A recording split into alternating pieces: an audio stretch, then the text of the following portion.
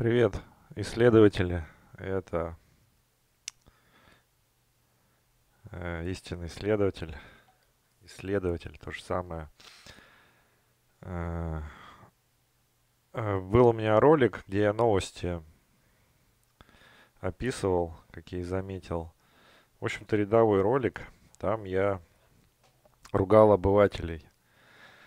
Э, ну, как я понимаю, что такое обыватели? Это которые вот э, сами сидят, их не интересует, э, чего вокруг. Даже если все вокруг развалилось, там, радиация кругом. Причем не, не то, что интересует, там, гопники, например, какие-то ругаются. Меня тоже не особо интересует, но э, такие вот сраные обыватели, это которые там что-то взорвалась ядерная станция, атомная станция, все грязное, люди больные все туберкулезом, э, ВИЧем, СПИДом. Э, в кафе там уже эти все люди работают. Если вы куда-то пойдете, они вам накашляют. А им это все равно.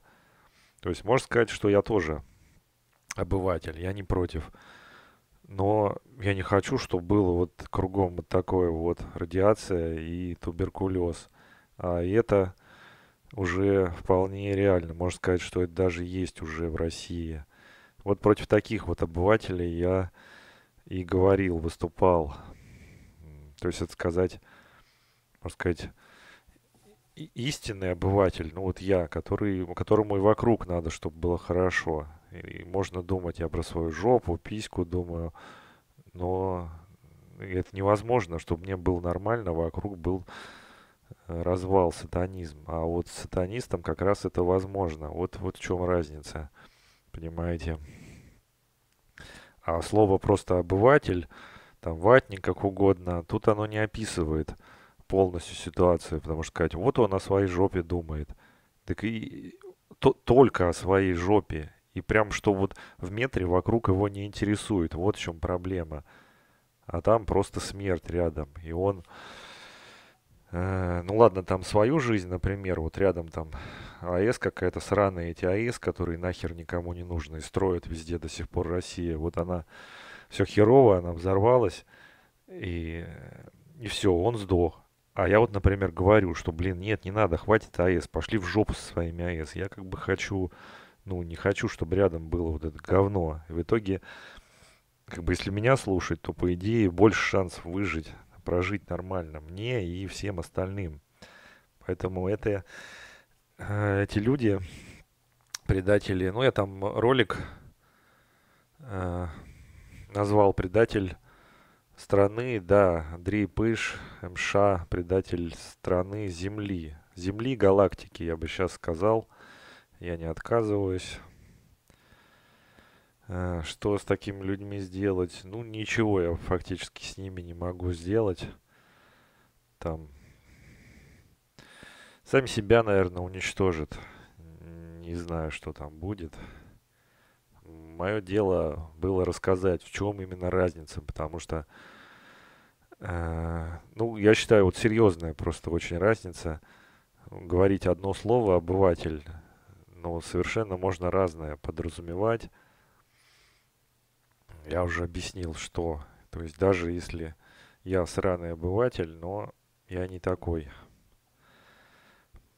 И также, например, вот смотрите, если вот сраные эти обыватели, Андрей Пыжики, э, ну вот страна диктаторская, фашистская, да, Россия, перебежал он куда-то в цивилизованную, ну тут рядом, вот Финляндия, например. И то же самое он будет сидеть и говорит, все, срать на тебя страна, которая даже ему там нормальную зарплату будет давать, если в Финляндии 4000 евро зарплата у грузчиков, это 280 тысяч рублей.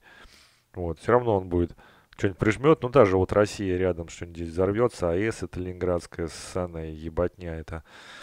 И, и все, и он дальше побежит. Ну, либо сдохнет, либо побежит, скажет, э, бля, Финляндия дерьмо, Россия дерьмо. Вот, вот в чем вот эта опасность вот с этими санами, обывателями, как бы вся земля едина. И вот этот развал, который в России, э, его и вот эти вот цивилизованные страны, они в этом тоже участвовали. Такие же бандитские они все, по сути. Ну, не буду сейчас про это. В общем, я хотел просто про про цензуру. Я правила YouTube прочитал несколько раз. Я не против них, я за. Там, что нельзя злобу, ругать там всяких инвалидов. Я не против. Я в своих роликах, э, ну, бывает иногда ругаюсь, конечно, перехожу, но сейчас стараюсь вообще не переходить эти границы. Но в чем проблема с этой вот цензурой, с правилами? Там даже в самих вот этих правилах ютубовских там описано, если ты критикуешь, ты критикуешь вот какого-то чиновника, саное государство, и что? Ты типа э, каким-то бандитом, что ли, стал? Ну так они, они бандиты, само государство бандитское. Я сказал, что они. И как бы здесь вот не разобраться никак. Даже вот эти правила Ютуба, они не решают эту проблему. Э, там у них написано, да, если не определить, как ты критикуешь или или врешь там, клевещешь. И, ну, может, потом как-нибудь пообсуждаем, как это, как с этим разобраться. Вот. Ну, то есть, есть такие вот вещи, э, когда ты не говоришь, что там убить кого-то, просто вот критикуешь правильно государство. Ну, как я считаю, вот я правильно, да, государство критикует, это просто паразит сраный бандюга, который не права какие-то там защищает, а вообще нарушает и убивает всех людей. Вот, но если я это говорю, то типа я становлюсь бандитом. Это, конечно, проблема. А, и за это все меня тюряшку посадят, убьют, и канал, естественно, закроют, заблокируют. Э, что, что я показываю? Э, вот это видео я специально решил его вытащить. Э, если кто не знает, самые бандиты-террористы, э, ну да, я уже сказал это, это и есть государство. Вот его СМИ, вот эти первый, второй канал Россия. Вот канал на Ютубе есть. Может быть их куча, я не знаю. Вот самый известный. Э, вечер с Владимиром Соловьевым. 396 тысяч, там канал Россия, еще, наверное, Россия это есть. Туда приходят вот эти бандиты, и они нарушают и правила Ютуба, и все законы российские, экстремизму. Эм, вот, уголовные статьи. Но их не наказывают, потому что они от, вида, от банды выступают. Как бы банда себя не может наказать. И вот здесь как пример э, я показываю. Я думал, что, может быть, убрали. Нет, его не убрали. То есть э, YouTube сотрудничает с бандитами. Сам является бандитом и террористом. С террористами.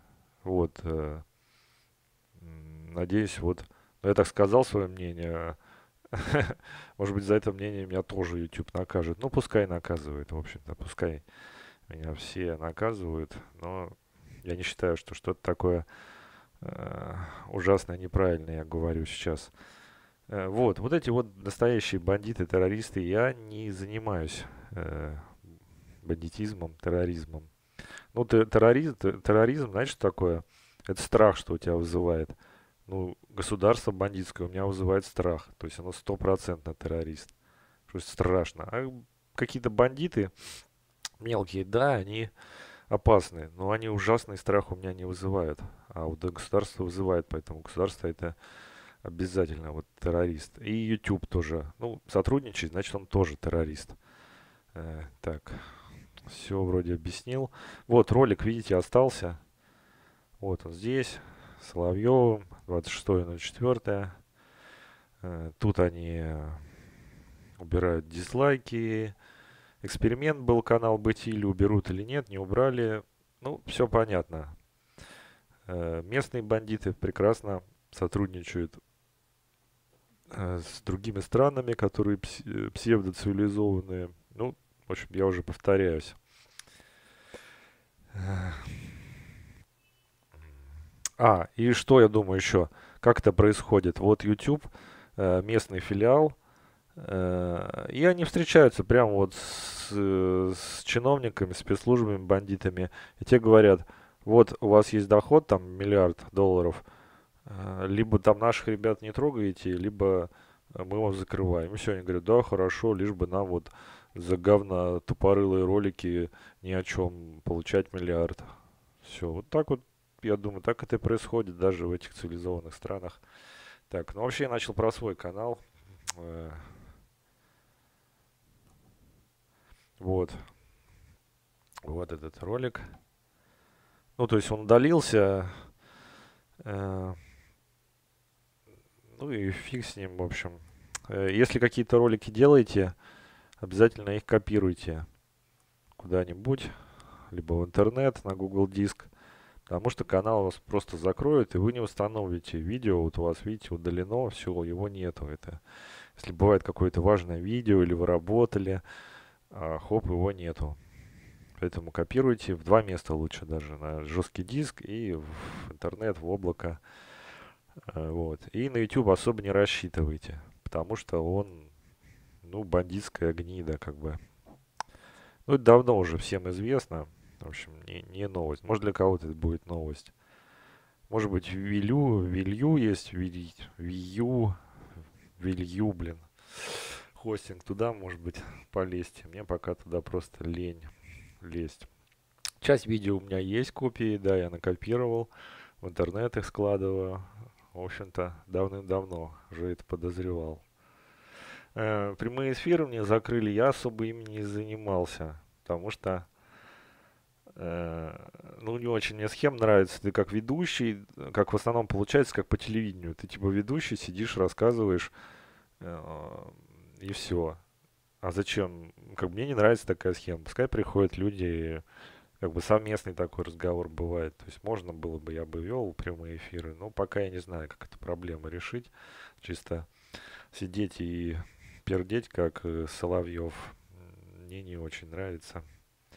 Может, потом что-нибудь придумаем. Ну, к другим людям я захожу, когда могу. Вот. Они типа наказали меня, а я и не приводил, не проводил их особо. В чем наказание тогда, я не понимаю. Типа прямые эфиры. Ну, многие не проводят эти прямые эфиры. Какой-то YouTube тупой. Ну да ладно, в общем, все. Пока, ребята.